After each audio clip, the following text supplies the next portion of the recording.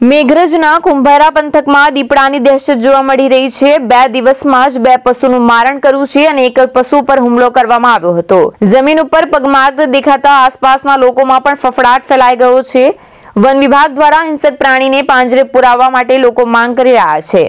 અરવલ્લીમાં એક પછી એક હિંસક પ્રાણીઓની દહેશતથી લોકોમાં ભયનો માહોલ છવાઈ ગયો છે. પહેલો બે દિવસ પહેલું આજ્યું હતું એક બકરું પહેલું મારજ્યું તે એક દીપડા જેવું પ્રાણી આજ્યું તે એ બીજે ઘર મારી નાખ્યું. પછી બીજે ત્રીજે દિવસ માર ઘરે આવ્યું. તે માર ઘરે આવીને મારે ઘરે બે મારજો તે એ દીપડા જેવું પ્રાણી હે. એના પગલા એકલો જોવા મળે અમે.